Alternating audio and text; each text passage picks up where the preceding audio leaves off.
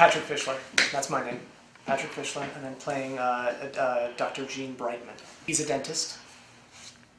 He is um, suffers from a little OCD, um, and uh, he's being uh, sort of looked at for these possible murders.